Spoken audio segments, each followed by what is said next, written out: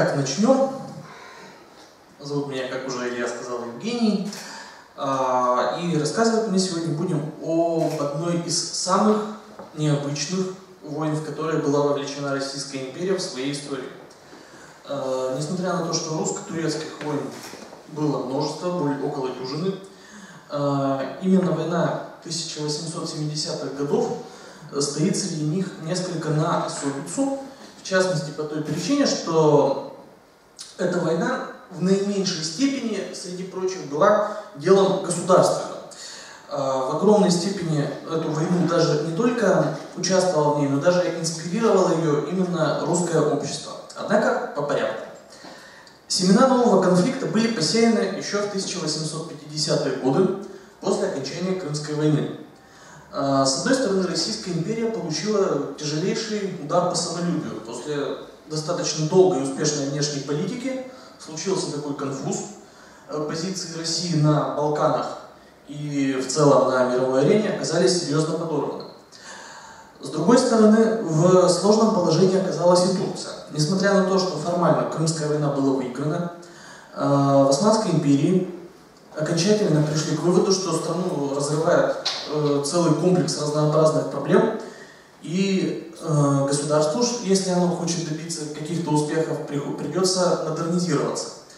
Э, Все это вызвало как поражение России, так и не слишком славная победа Турции, вызвали в обеих странах некий виток модернизации. Если для нас э, последующие за Крымской войной годы это период э, усилий Александра II, то Турция также провела ряд реформ. Причем к этому ее в том числе вынудили ее же собственные союзники по итогам Крымской войны. Турция получила ряд требований по либерализации положения христиан турецких. И, кроме того, Турция решилась на некоторые экономические реформы. Все это, однако, привело государство к достаточно тяжелой и противоречивой ситуации.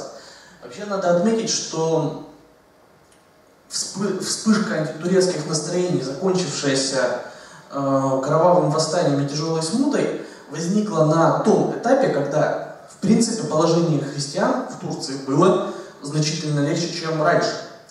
Почему это произошло?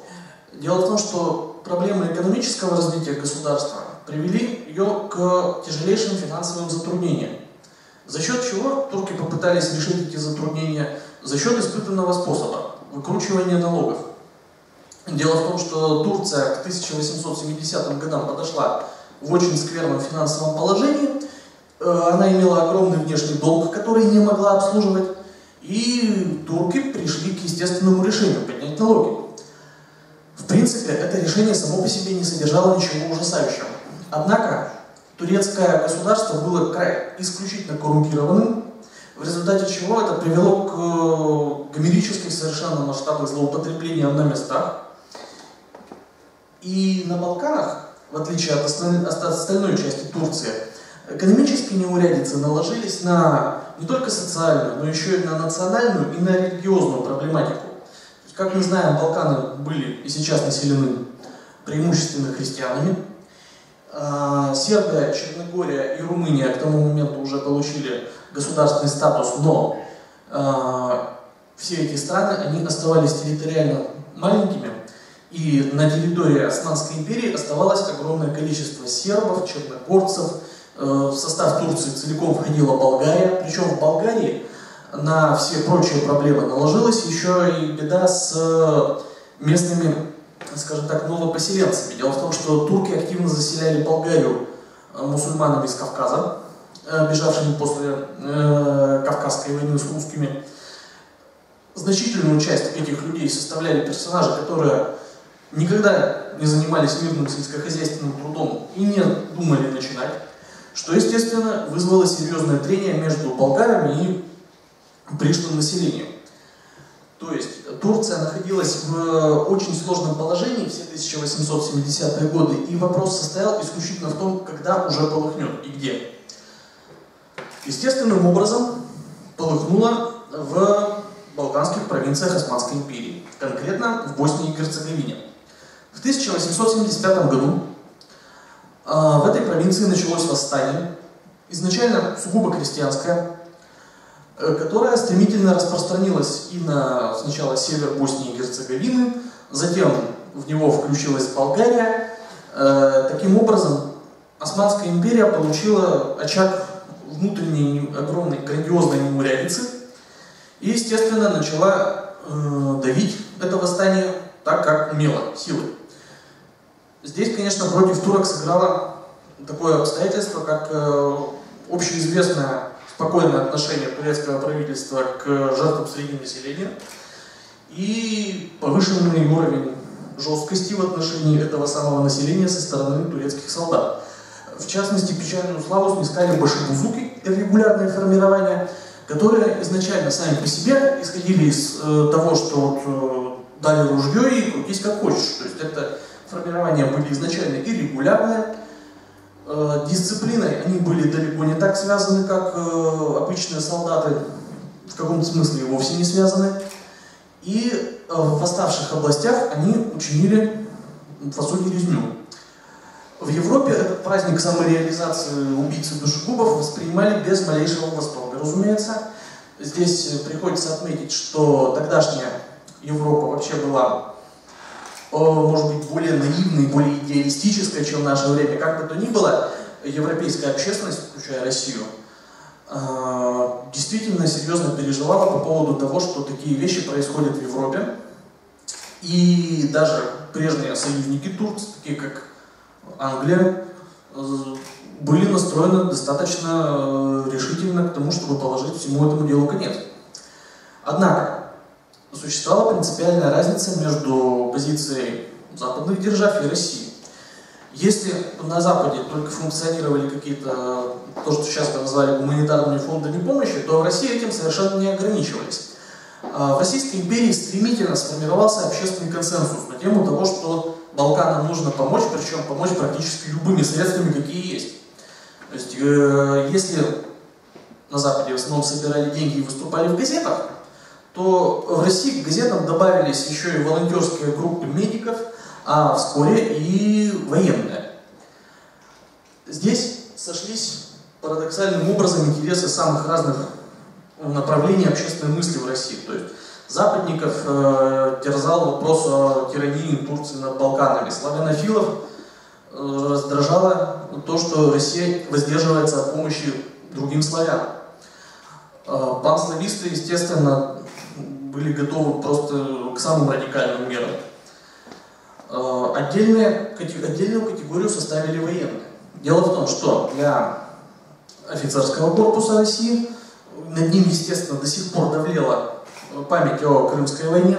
Конечно, после этого случилось много чего интересного, и в том числе в военной сфере. В частности, закончилась Кавказская война, закончился э, основной этап покорения Туркестана, но это все-таки было нечто не то, потому что одно дело сражаться с полудикими племенами, и другое дело восстановить реноме победой в настоящей серьезной кампании. Причем Кавказ и Средняя Азия, они сформировали достаточно значительную группу офицеров, которым просто хотелось где-то повоевать уже еще раз за правое дело. И если мы вспомним, э, кто возглавлял наиболее эффективно и наиболее решительно русские войска в русско-турецкой войне, то мы у очень многих из этих командиров обнаружим э, строчки в биографии либо среднеазиатские, либо кавказские. То есть там Столетов, это, насколько помню, Средняя Азия и Кавказ, э, Скобелев, Средняя Азия, Черняев, Средняя Азия. То есть э, в России имелся настоящий серьезный общественный запрос на вмешательство в балканские дела. При этом вскоре после начала восстания Турция объявили войну еще и Сербия и Черногория, которые до сих пор были независимыми, но все же оставались в некой э, связи с э, Османской империей. А, здесь они окончательно порвали с Стамбулом и объявили Турции войну. Готовы к войне они не были совершенно. Э, этот отчаянный просок был связан, во-первых, с надеждами на помощь России. Тут надо сказать, что наши, как бы сказать, общественные активисты здесь серьезно переборщили и зачастую авансом обещали балканским славянам помощь, причем не только моральную, но и материальную. Как бы то ни было, Сербия и Черногория вовлеклись в войну, и конфликт стал уже межгосударственным. Причем Александр II официально позволил офицерам брать отпуск и вступать в балканские армии. Э, в результате возник настоящий поток добровольцев. Около 4000 человек, по крайней мере, туда поехало. Э, Причем сербскую армию возглавил генерал Черняев, бывшая, что называется, звезда э, среднеазиатских э, компаний Лев Ташкент, вот он. Э, Черняев был своего рода военным авантюристом, конечно. Э, в советское время его даже обозвали бездарным, но бездарным он, конечно, не был, но это был действительно человек, готовый воевать ну, практически где угодно, когда угодно и с кем угодно. И вот на этот раз он возглавил сербскую армию. Однако возможности сербов и Османской империи были, конечно, несопоставимы. И как Сербия, так и Черногория, так и восстания в Боснии Герцеговине и Болгарии быстро терпели поражение. Причем э, османы действовали с исключительной жесткостью, кровь лилась без всяких преувеличений рекой, и в России это вызывало ну, настоящее бешенство. Александр II, как и Министерство иностранных дел, и Министерство финансов совершенно не горели желанием вступать в войну. Это такой любопытный момент, но действительно Российская империя, несмотря на свою остро экспансионистскую политику в течение всего 19 столетия, совершенно не жаждала ввязываться в новый крупный конфликт на Балканах, потому что и император, и его министры понимали, что мы не очень хорошо готовы к войне, даже скорее готовы к ней исключительно плохо. Тем не менее, общественный нажим был очень серьезным. Поначалу была надежда на то, что удастся разрешить конфликт миром. Собралась э, конференция, составленная из послов европейских держав и представителей Турции, на которой э, османам последовательно выдвигались требования по приостановке конфликта, этого удалось добиться, а также по послаблению балканским христианам внутри страны. И вот здесь турецкая сторона запустила у дела и отказалась от каких бы то ни было послаблений, считая это вмешательством в собственные внутренние дела. Здесь надо отметить два момента. С одной стороны, России удалось добиться только нейтралитета западных держав, то есть ни о какой поддержке и речи не шло, но с другой, неуступчивая позиция Турции совершенно э, уже до невменяемости. И позиция русского общества привели к тому, что э, император объявил ну, Турции войну 12 апреля 1877 года при полной поддержке внутри страны и, по крайней мере, без э, серьезного конкретного противодействия извне. Сейчас придется вернуться чуть-чуть назад и э, вспомнить о некоторых реформах, произведенных в России э, после Крымской войны. Эти реформы, возглавляемые новым военным министром Милюгиным, э, коснулись, разумеется, и военной сферы, и э, содержали достаточно много здравых идей, призванных э, сделать э, русскую армию более современной. Вообще, война 1877 стала первой индустриальной именно войной России. Э, то есть войска были организованы по новому принципу, всеобщая воинская обязанность вместо старой рекрутской системы, активно использовались железные дороги. Существо... Милютин изменил систему подготовки вооруженных сил, санитарную службу. Короче говоря, так или иначе изменения коснулись почти всех отраслей военного дела. Так что русские, в принципе, шли в бой более, более уверенном, более уверенным в собственных силах, чем это было во время Крымской войны. Что же касается Турции, то м- было меньше, чем похвастаться. Конечно, определенные сдвиги происходили, опять же, со времен Крыма, но э, турецкая армия в значительно меньшей степени успела подвергнуться модернизации.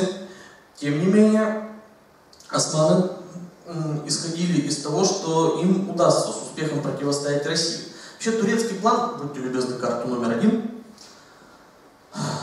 турецкий план изначально строился на э, пассивной стратегии, Предполагалась оборона на э, четырехугольнике из крепостей в восточной части Болгарии, вот там в частности Шумла, Рущук, Силистрия и Варна. И турки предполагали, что им удастся сдерживать Россию достаточно долго, нанести достаточно существенные потери, чтобы Россия отказалась от дальнейших наступательных планов. Русский план, в свою очередь, был исключительно активным и вообще напоминал по замыслу Блицкрик более позднего времени. Предполагалось этот четырехугольник из крепостей обойти, э, форсировать Балканы и выиграть войну коротким рывком к Константинополю, то есть севера на юг. Тем не менее, гладкую бумагу планов вскоре пересекли, можно спускать дальше, овраги грубой реальности, и, но тогда этого, разумеется, еще никто не мог знать. Русские войска действовали через территорию союзной Румынии, а, которая предоставила территорию, а впоследствии войска для дальнейших действий против Турции. И поначалу действия все раз, э, развивало, действия, военные действия развивались очень успешно, и, в общем-то, казалось, что все пройдет как легкая прогулка. А в частности, вот видите, форсирование русскими войсками Дуная. Дунай теоретически должен был стать очень серьезной водной преградой. Он в этих краях достигает ширины в километр и глубины метров 20-30, и, в принципе, турки могли бы на нем закрепиться. Здесь, однако, э, им помешала это сделать отличная организация форсирования реки э, усилиями генерала Драгомирова. Надо отметить, что Вообще, всей операции с русской стороны командовал великий князь Николай Николаевич, который в военном деле все-таки был профаном. И это было одно из не очень удачных кадровых решений, потому что все-таки к 19 веку война достаточно усложнилась, чтобы требовать военных профессионалов. Тем не менее, многие тактические командиры русских, они демонстрировали реально отличное качество, в частности, вот э, Драгомиров, который Э, организовал форсирование Дуная достаточно затейливым способом. Э, произведя демонстрацию в одном месте, русские успели подвести средства для переправы к другому и неожиданно форсировать э, Дунай там, где турки не имели значительных сил. Драгомиров сумел добиться абсолютного преимущества над турками и использовал против единственного турецкого батальона на нужном участке 16 своих. Правда, это наступление все равно не прошло совсем уж гладко. Форсировали Дунай ночью, под, э, вскоре туда подтянулись турецкие резервы. Продолжение банкета шло уже под э, серьезным огнем. Э, тем не менее, благодаря вот этому маневру, русским удалось быстро и эффективно форсировать Дунай и на широком фронте его перейти. На этом этапе огромную роль сыграл сравнительно небольшой передовой отряд Иосифа Гурка. А, Гурка был генерал решительный, даже в каком-то смысле авантюристичный. И его роль состояла в том, что он провел исключительно смелый маневр на юг, несмотря в глубину турецких позиций, и захватил Шипкинский перевал. В коротком, достаточно свирепом бою, тем не менее, Шипка попала в русские руки, и это сыграло огромную роль в дальнейшей войне.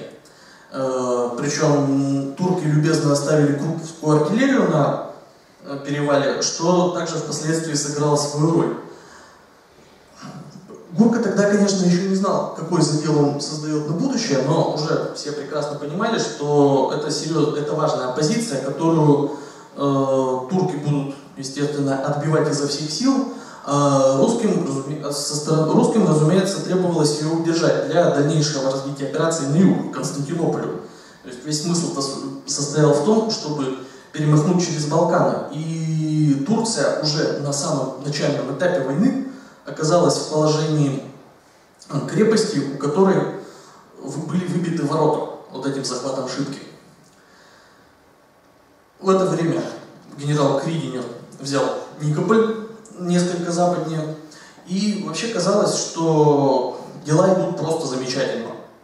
Но в этот момент свой сильный ход сделали турки. Просим еще раз, а, вот это вот сдача Никополя, насколько я да, это сдача Никополя, и сделайте, пожалуйста, еще раз первую карту. Вообще, русские операции во многом определялись географией. Что, собственно, произошло? А, вот у нас Никополь, а, и его захватом русские, оказалось, должны продвигаться быстро на юг, но в этом им помешал Осман Паша, один из лучших турецких военачальников. Вон на северо-западе мы видим городок Видин. Э, русские ожидали, что Осман Паша отправится на Румынию для действий против русского тыла, но он вместо этого отправился на восток, в Плевну.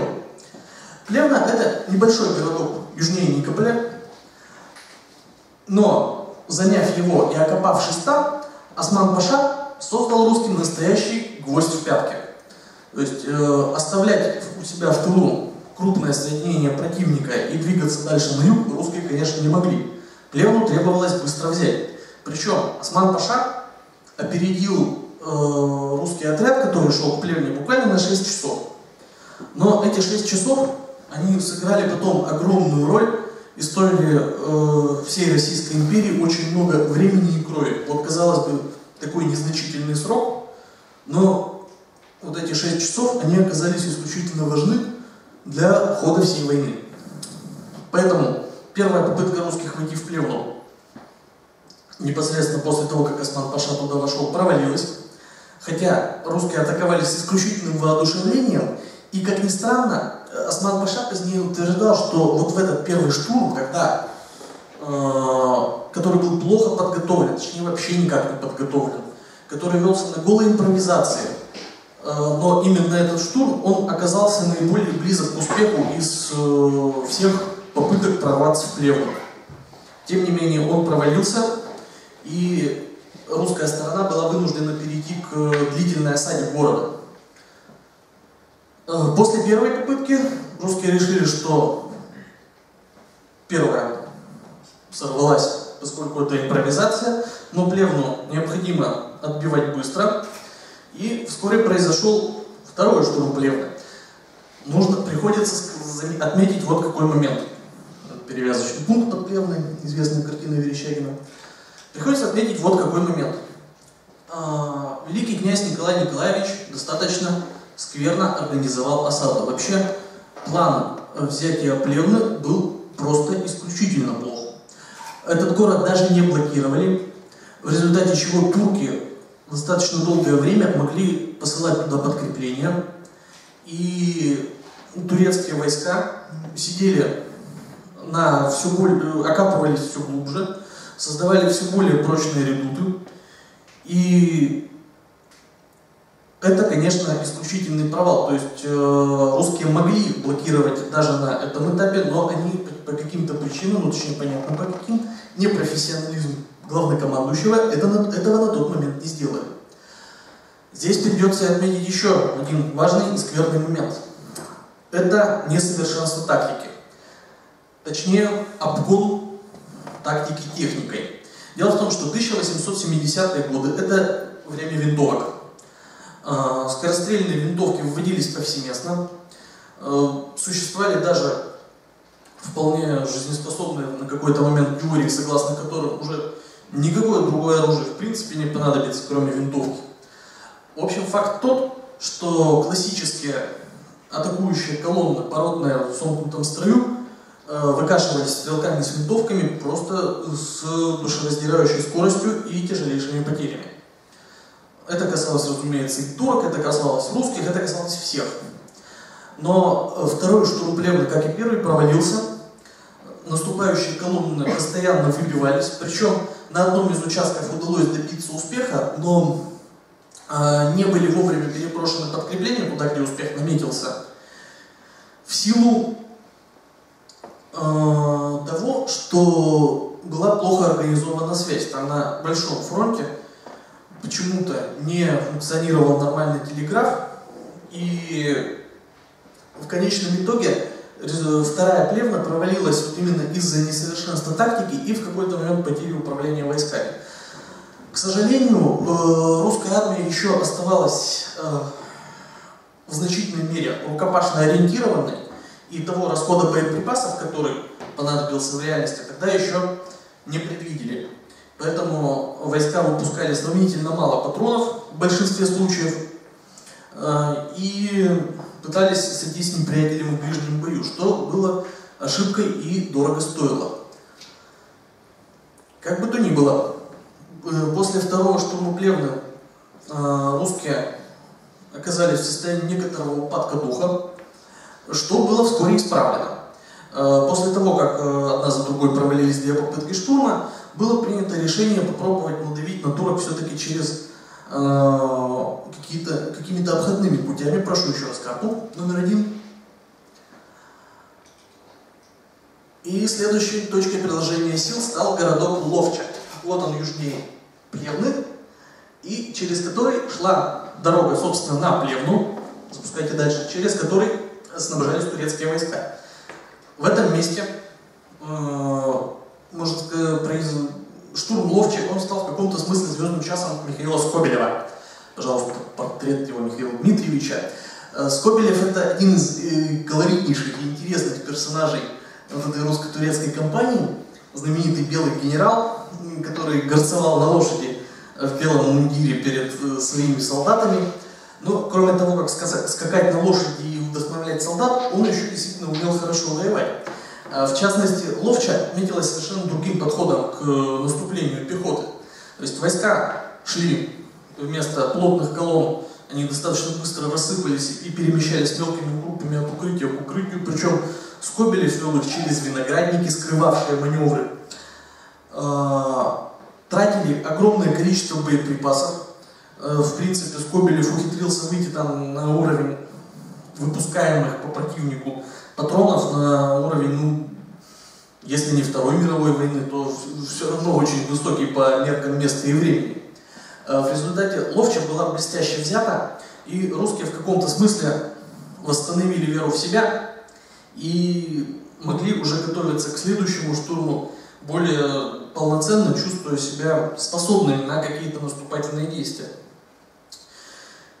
Тем не менее, 30 августа 1877 года происходит третий штурм Плевны, и кончается он еще хуже, чем первые два.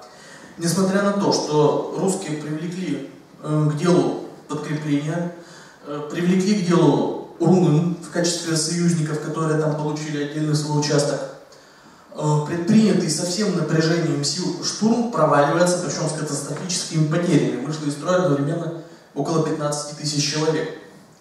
Причем Скобелев со своими людьми ухитрился ворваться на турецкие позиции, занять несколько редутов и мог бы развить успех, но он не получил подкреплений. Почему? Опять же, причины те же самые. Плохая связь. Э, Борис Акунин в известном своем романе изобразил картину предательства, которое, собственно, сорвало все планы русских, но на самом деле все было гораздо прозаичнее на 16-километровом фронте. Вестовые доставляли все сведения с задержкой. Адъютанта еще может кто-то там бить по дороге сто раз. В результате Скобелев сидел на своих захваченных позициях один, пока Осман Баша не понял, что против него воюют совсем немного сил в этом секторе, и не надавил на прорвавшихся русских э, всеми имевшимися у него резервами и Скобелев с огромным трудом просто выпутался из э, той передряги, в которую он попал.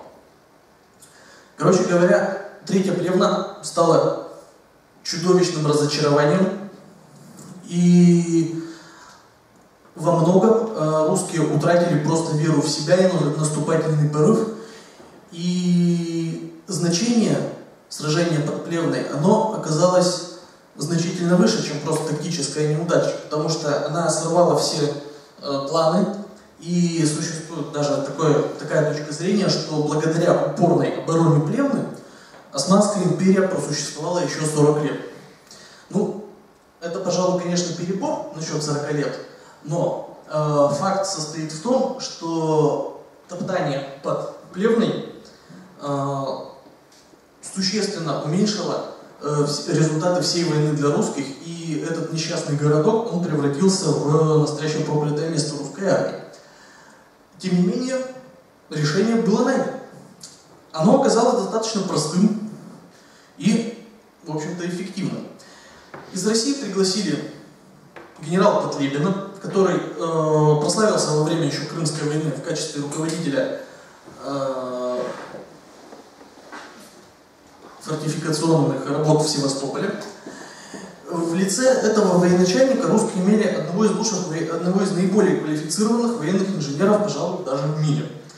А, Татлебин вообще был сам по себе, конечно, не подарок. Он был человек достаточно самолюбивый, педантичный, где-то даже мелочный, но он был, безусловно, профессионал. И на мир он смотрел именно глазами военного инженера. А, Плевну начали брать из мора. А, в серии очень тяжелых боев Гурка сумел отбить у турок несколько позиций вокруг города. Вокруг Плевны сомкнулось кольцо. Осман Паша с десятками тысяч людей оказался в полном окружении, не мог там получать ни продовольствия, ни помощи, короче говоря, сидел в полной изоляции. Конечно, это было не самым лучшим решением, потому что э, стратегия Измура, она плоха тем, что мы теряем время, а время в данном случае работало на турок. Э, но это было гораздо более разумным решением, чем раз за разом биться об укрепление при неочевидных перспективах. Тем более, что первые три штурма, они закончились известно чем, и четвертое такого поражения русская армия могла бы просто и не выдержать. Между тем, пока шло все это бадание под Плевной, важнейшие события происходили на Шипкинском перевале. Карту, пожалуйста.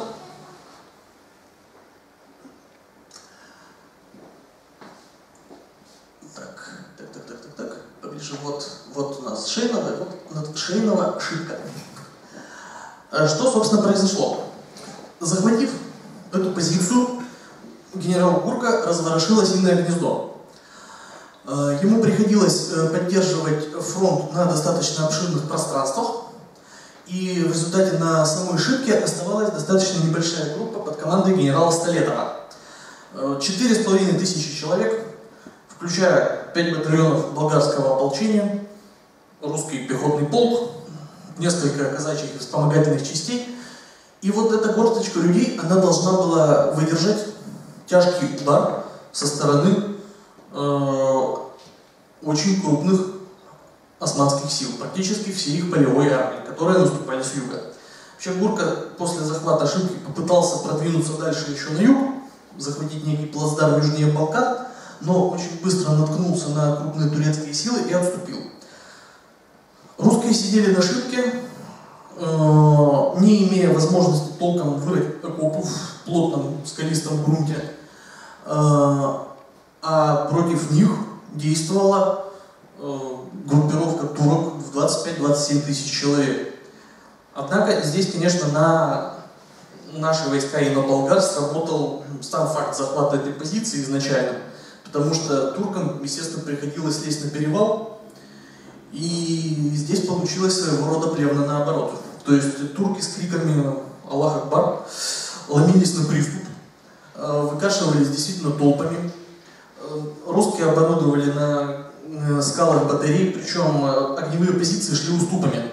То есть лезущим наверх туркам приходилось находиться под огнем, как правило, перекрестным, причем еще и с нескольких ярусов. То есть наверху артиллерия, которая била через головы пехоты, а внизу пехота, которая, собственно, окучивала наступающего неприятеля винтовочным огнем.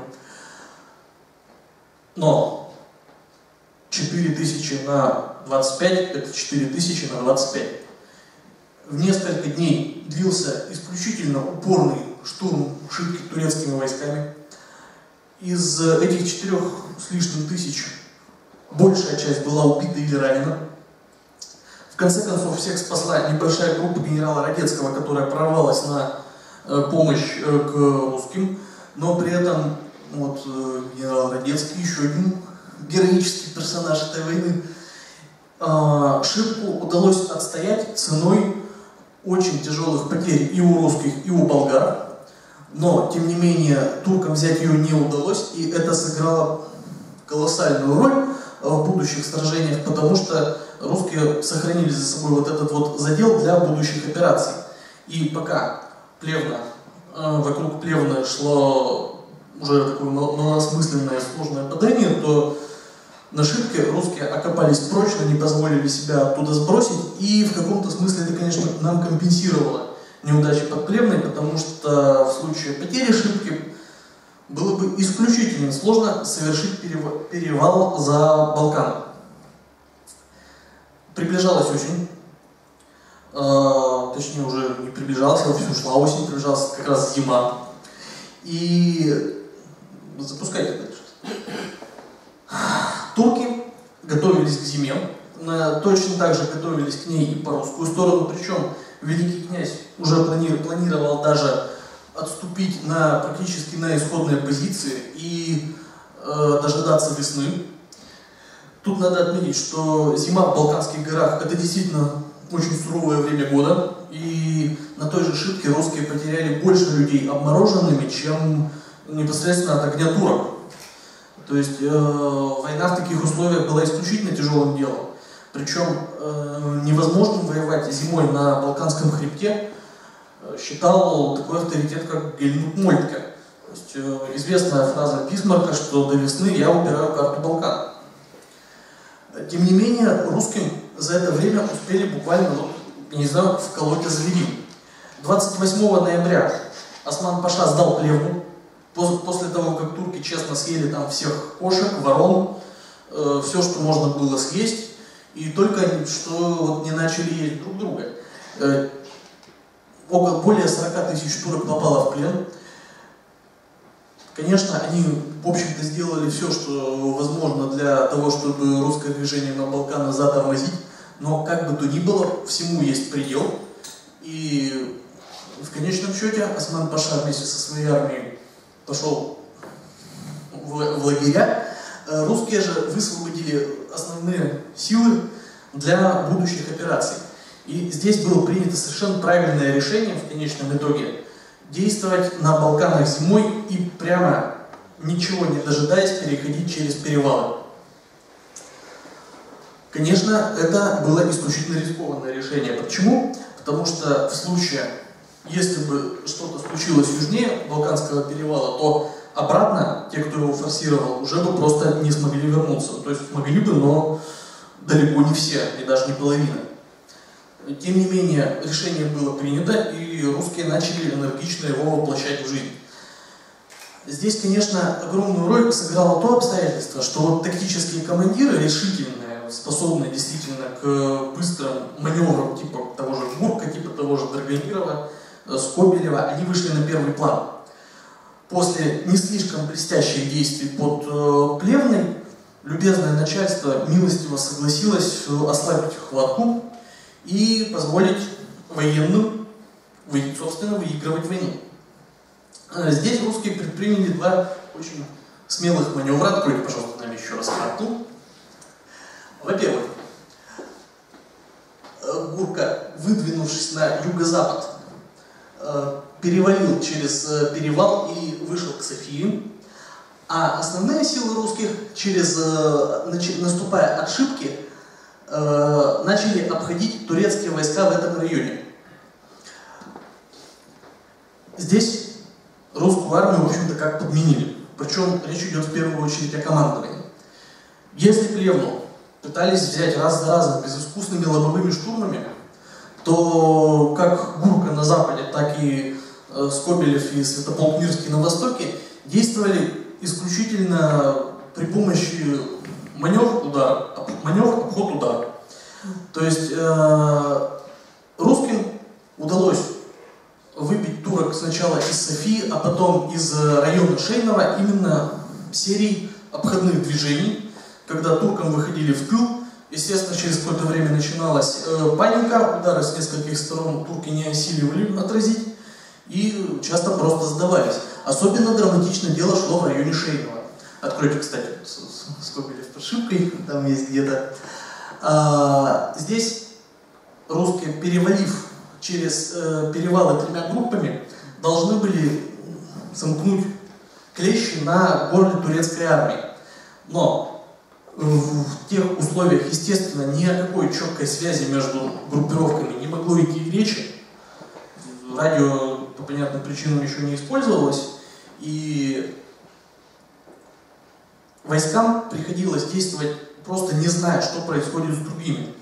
А, поэтому три отряда ушли в неизвестность, и один из них, э, подвергался очень серьезному нажиму турок, и русские уже начали командовать отход, когда от турок явились парламентеры и сообщили, что, собственно, мы сдаемся. Почему это произошло? Потому что пока там в снегу шла совершенно мучительная мясорубка, э, Скобелев наконец преодолел снежные заносы, которые там доходили до 4 метров в глубину, и как снег на голову явился на турецкие позиции с тыла. Причем Скобелев принял решение совершенно в таком духе блицкрига. Он не стал тратить времени на там, выяснение диспозиции, установку связи с э, другими наступающими группами. Он просто увидел противника и атаковал его всеми доступными силами.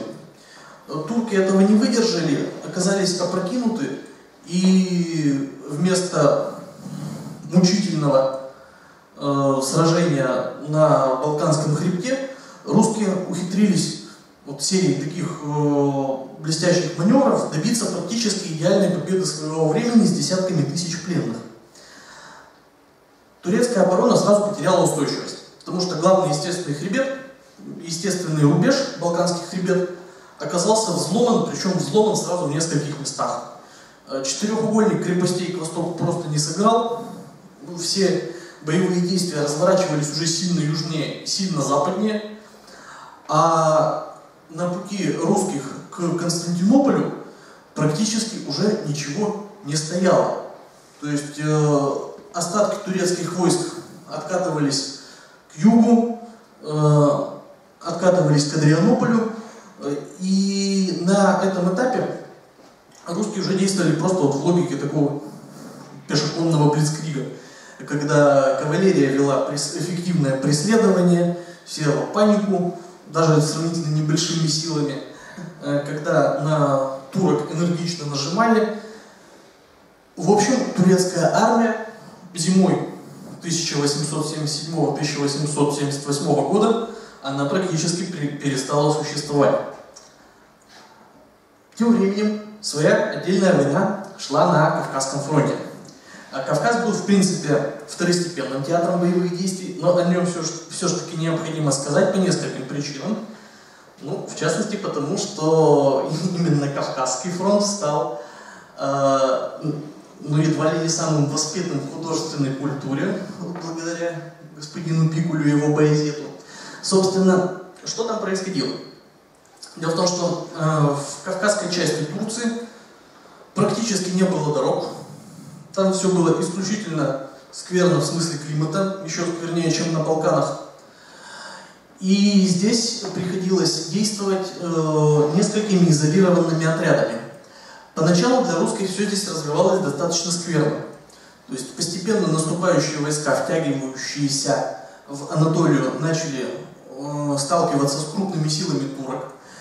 Э, в Боязет заняли без боя на крайнем юге но отряд, который там находился, очень быстро оказался обложен крупными турецкими силами. Причем Байзет – это крепость, по сути, средневековая. Она превосходно просматривается со всех окрестных высот. И ладно бы просматривается, она еще и простреливается с них. К тому же в крепости оказался исключительно малый запас продовольствия.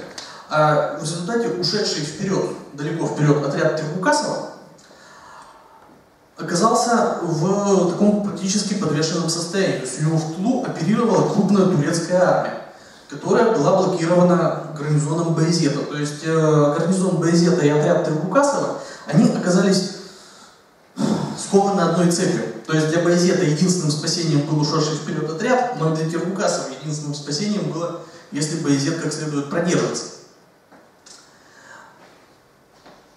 На других участках фронта дело обстояло местами еще хуже. В частности, туркам удалось взбунтовать Абхазию, Чечню и Дагестан, где война кончилась совсем недавно. Поэтому часть русских подкреплений, они так и оставались в Тулу. Более того, туркам э, удалось э, захватить кусок русского Черноморского побережья. Дело в том, что после Крымской войны флот Черноморский так и не был восстановлен из-за ограничений, которые были наложены на Россию после этого. И турецкий флот, он мог, в общем-то, упражняться как ему угодно. И то, что турки на самом деле не воспользовались преимуществами самого наличия у них флота, дееспособного, Это, в общем-то, великое счастье. Э, как бы то ни было, русские э, чуть не потеряли все, что было достигнуто за предыдущее, предшествующее время на Кавказе. Но здесь на нас, конечно, сработало, сработали и лучшие боевые качества в среднем, штык на штык, и некоторое численное превосходство, ну и все-таки элемент везения, потому что, в конце концов, Байзет был деблокирован, и русские смогли э, достаточно упорных боях начать продвигаться в, скажем так, внутреннюю Армению. Э, в частности, был, была захвачена турецкая крепость, э, были захвачены турецкие крепости Карс и Ардаган. Э, Причем здесь состоялась такая Крымская война наоборот. В одном из приступов, когда турки были разбиты исключительно артиллерийским огнем с недосягаемой для них дистанцией, и в целом Кавказский театр боевых действий, он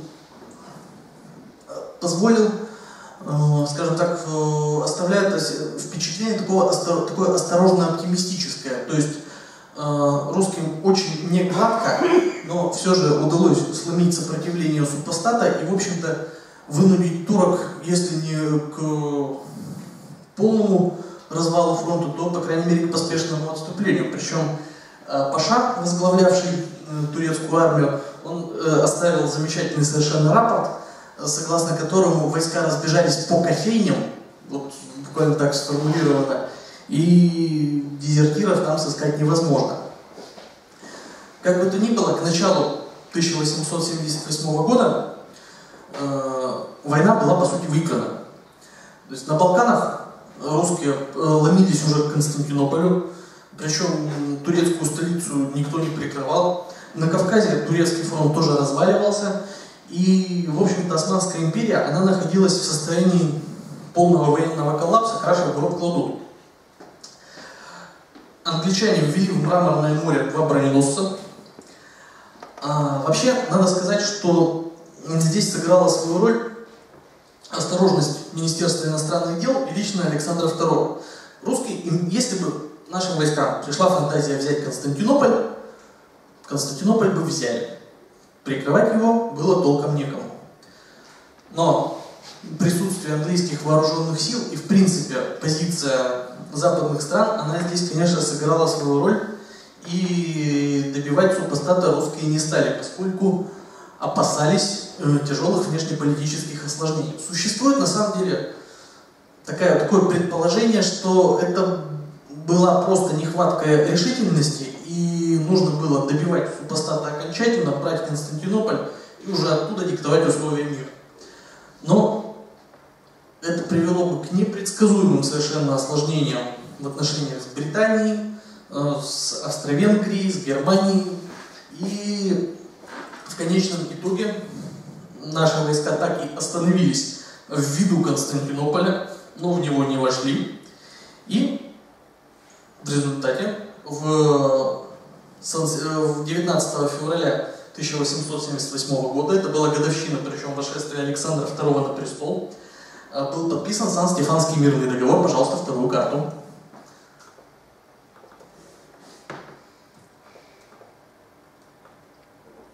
Вот-вот. Значит, Сан-Стефанский мирный договор интересен вот в каком аспекте. Как мы можем видеть, здесь совершенно огромная циклопическая Болгария. Она вообще как таковая появилась на карте мира. А, и, но главный момент состоит в том, что Болгария, как видите, имеет выход к Эгейскому морю.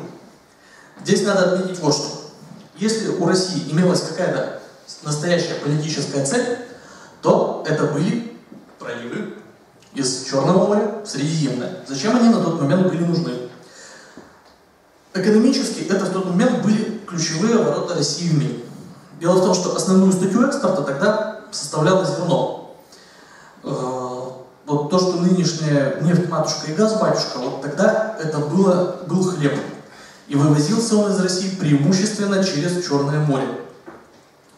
И побирание проливов, оно, во-первых, давало нам ключи от собственного экспорта, во-вторых, оно запирало Черное море, делало его, делало его нашим внутренним, и вообще исключительно усиливала позиции России и на Балканах, и для, как бы сказать, э, внутри, и на, собственно, для внутренней безопасности. Потому что весь Черноморский регион, он, становился, наш, он становился нашим в полной степени. Так вот, и такая вот, такое вот бол, э, начертание Болгарии, оно фактически решало проблему проливов в обход. То есть мы имеем союзную Румынию, союзную Болгарию и выход к проливам через э, территории наших э, союзников, которые, в общем-то, нам обязаны независимостью, э, которая находится под покровительством России. Конечно, это не так хорошо, как прямой контроль над проливами, но, в общем-то, это тоже решение проблемы. Ну, то, что Сербия и Черногория получили серьезное превращение территории, это понятно. То, что Сербия, Черногория перестали быть вассалами, вассалами Турции, тоже понятно. Однако, это была своего рода программа «Максимум». Хотя Россия подошла очень близко к решению своей главной, наверное, внешнеполитической проблемы, а, в конечном итоге никто не собирался нам этого позволять. И Сан-Стефанский мирный договор был вскоре пересмотрен на, откройте, пожалуйста, третью карту, Берлинском конгрессе, который состоялся летом 1878 года. Что мы здесь видим? Болгария радикально урезается, теряет выход к морю. Вместо Южной Болгарии создается турецкая автономная провинция Восточная Румелия. А, Босния и Герцеговина оккупируются Австро-Венгрией, причем Австро-Венгрия здесь, она, естественно, она никак не участвовала в войне, но она поучаствовала в установлении мира и, как бы сказать, в награду за защиту турецких интересов получила э, эту провинцию. Правда, на самом деле, польза от Боснии и Герцеговины для Австрии оказалась достаточно сомнительной, но она ее получила. Э, здесь нету, но Британия получила Кипр, опять же, в качестве награды за защиту турецких интересов и мира во всем мире. Ну а Россия, как мы видим, осталась, ну, не в пролете, конечно, но э, получила существенно меньше, чем то, на что реально могла рассчитывать. Вообще такой итог войны, он производит очень смешанное впечатление. С одной стороны, Вся война была начата в, в огромной степени из альтруистических побуждений. В огромной степени ее инициировали, э, обществ, инициировала общественность внутри России же. В огромной степени эта война была фактором внутренней политики, а не внешней. Но по ее чисто военным итогам русские э, добились практически решения своих, э, своей просто многосотлетней уже цели, э, к которой упорно шла еще Екатерина II, и которую вот так, к сожалению, и к решению этой задачи мы подошли очень близко, но так ее и не решили. И хотя сейчас острота этой, этого вопроса, она не настолько велика, но даже в современной политике нам это по сей день аукается. Как бы то ни было, боевые действия завершились, и они оставили очень смешанное впечатление даже внутри самой России. То есть, э, да, добиться удалось многого, но уже тогда э, существовало серьезное ощущение, что чего-то вот не довоевали. То есть, ну, понятно, почему такое ощущение было, потому что вот собор Святой Софии, он был просто вот на горизонте, и можно было заходить и брать Стамбул, превращать его назад в Константинополь. А, но в конечном итоге осталось такое впечатление полупобеды. Тем не менее, России, пожалуй, там был чем, ну, чем гордиться в таком по-человечески, что ли, потому что объективно балканская проблема освобождения балканских христиан, она была в значительной степени решена. Это, конечно, было далеко не полным разрешением всех проблем региона, но даже сейчас Болгария остается таким, ну, в общем-то, услаждает сердце империалистов, потому что идешь по там, улице графа Игнатьева, там площадь Героя Шибки и так далее и тому подобное. То есть в Болгарии, в общем-то, это помнят до сих пор. Хотя вот на уровне политики все далеко не так хорошо, как на уровне там, человеческих отношений. А, в чисто военном аспекте эта война тоже оставляет достаточно смешанное впечатление. Там, конечно, было достаточно много очень ярких эпизодов. Например, а, адмирал Макаров, который тогда был еще лейтенантом, а, успел прославиться тем, что предпринял первую в мире успешную торпедную атаку под самый занавес войны, буквально за 10 дней до, это не оно, но про это тоже расскажем, э, буквально дней за 10 до э, заключения перемирия, Макаров с этими торпедами подстерег турецкий везок, посыльный корабль, и, наконец, всадил ему порт торпеду, тот утонул ко всеобщей радости. Дело в том, что очень долго Макаров экспериментировал с минами, которые он пытался там Э, катерами, вот, только что вот не шестами подтаскивать к турецким кораблям, э, с торпедами. Вот, э, наконец, все расчеты оправдались. Первая успешная в мире торпедная атака. А то, что там вот было, это такой тоже интересный эпизод во время еще форсирования Дуная. Дело в том, что возник, может возникнуть естественный вопрос, а почему турки не помешали форсированию Дуная речным флотом? Потому что река-то большая, там можно много чего по ней пустить. И у них действительно там речные мониторы имелись. Но э, русские блокировали эти перемещения при помощи постановки мин. А когда устанавливались эти мины, то турки попытались э, их блокировать э, речными мониторами бронированными. Э, ну и для одного из этих мониторов все дело стало фатальным. Причем в морской войне это часто очень сильно выражено у, сколько помню, у англичан даже специальный термин есть, поправка на Иисуса. В общем, русские выстрелили четыре раза, два раза попали и один в крют-камеру. После чего этот турецкий мониторчик просто взорвался, спасся один единственный матрос. То есть, в общем-то, статистически на такое рассчитывать, конечно, нельзя, но по факту это произошло. То есть, э, такой лакишот. Так вот, повторюсь, в чисто военном смысле эта война тоже оставляет э, такое смешанное впечатление. Русские продемонстрировали странные, совершенно не совсем даже объяснимые перепады боеспособности. То есть э, войска действуют то с исключительной пассивностью, то наоборот проявляют активность и непрерывно э, маневрируют и очень эффективно действуют, какие, импровизируют какие-то тактические решения а потом вновь впадают в спячку и э, опять действуют шаблонно и пассивно, а потом снова взрываются какими-то блестящими импровизациями и в итоге ведут дело к общей победе. Тут, конечно, имеет место такая двойственность милютинских реформ, которые не до конца дали, что ли, результаты, и русский офицерский корпус, он оставался исключительно неоднородным по боевым качествам. Как бы то ни было, в общем-то, э, русская армия выдержала свой экзамен. Повторюсь, это первая индустриальная война Российской империи. И хотя не все шло гладко, но война 1877-78 годов, пожалуй, действительно может оставлять по себе чувство гордости за Отечество, потому что с одной стороны, в конечном счете выполнили ну, благородную цель, хотя и сами себе ничего не, почти не получили, но, во-первых, освободили балканские народы, и, во-вторых, традиционно продемонстрировали очень неплохие качества вооруженных сил и, в общем-то, вернулись на мировую арену в качестве сверхдержавы. Спасибо.